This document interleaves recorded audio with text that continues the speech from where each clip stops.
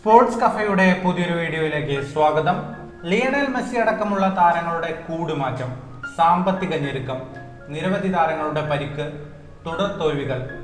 പ്രതിസന്ധികളുടെ നിലയില്ല കയത്തിലേക്കാണ് Xavi Hernandez ബാഴ്സലോണയുടെ പുതിയ പരിശീലകനായി എത്തുന്നത്. ചുരുക്കി പറഞ്ഞാൽ സാവിക്ക് കാര്യങ്ങൾ ഒട്ടും എളുപ്പമല്ലെന്ന് ചുരുക്കം.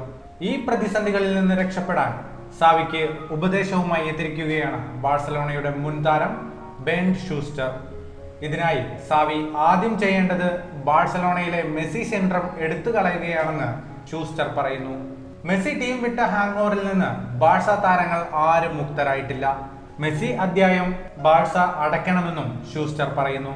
ജർമ്മൻ മാധ്യമമായ ബിൽഡിനോട് സംസാരിക്കവേ ഷൂസ്റ്ററിന്റെ വാക്കുകൾ ഇങ്ങനെ. ബാഴ്സലോണ ഇപ്പോഴും മെസ്സി സെൻട്രോമിൽ കഴിയുകയാണ്. മെസ്സി ടീം വിട്ടു എന്ന യാഥാർത്ഥ്യം ഉൾക്കൊള്ളണം. നിലവിലെ സ്ക്വാഡിന് എന്താണ് ചെയ്യാൻ കഴിയുകയെന്ന് വിലയിരുത്തുകയും അതിനനുസരിച്ച് കളിക്കുകയും വേണം.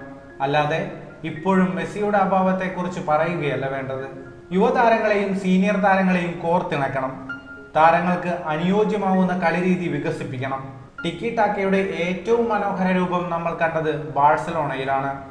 ഇതുകൊണ്ട് തന്നെ ആരാധകർ ടിക്കി ടാക്ക ആഗ്രഹിക്കും. നിലവിൽ അത്തരത്തിലുള്ള കളിയല്ല ബാഴ്സലോണയുടേത്. അപ്പോൾ സാഹചര്യങ്ങൾക്കനുസരിച്ച് മാറുകയാണ് വേണ്ടതെന്നും ഷൂസ്റ്റർ പറഞ്ഞു.